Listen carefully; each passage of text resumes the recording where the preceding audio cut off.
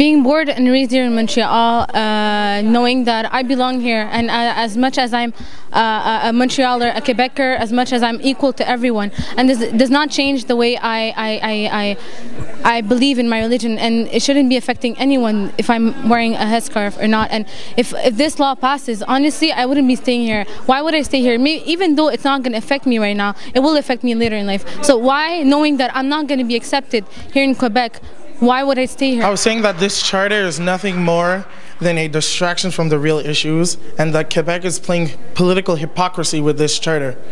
What I mean by political hypocrisy is that Quebec is going to use the notwithstanding clause in the Constitution, a document Quebec did not sign just to get this law passed. I think the charter is a, is a great proposition for it gets us to discuss something that obviously is is a hole inside of all of us. It's it's brought up so much discussion as much as brought it's brought problems. It's also brought other discussion that we have left aside since La, La Commission Bouchard-Taylor, and now we're re-talking about it. And hopefully something's going to come out of that.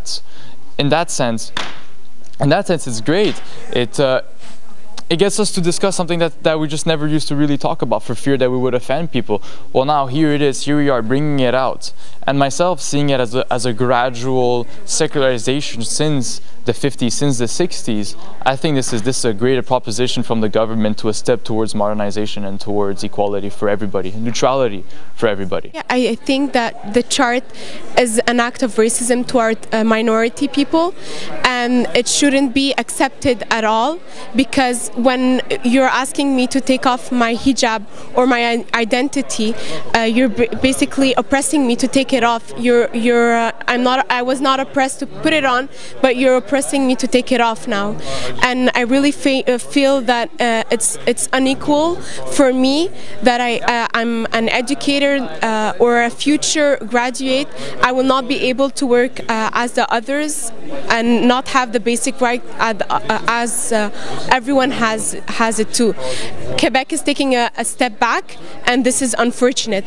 We should we shouldn't be doing the same thing that Quebec has already done, to, or Canada has already done to, uh, to First Nation and resi residential schools. Now they're doing it again toward minority groups and this is not acceptable. I'm basically against the charter because it infringes upon the fundamental rights of people to, to for freedom of expression.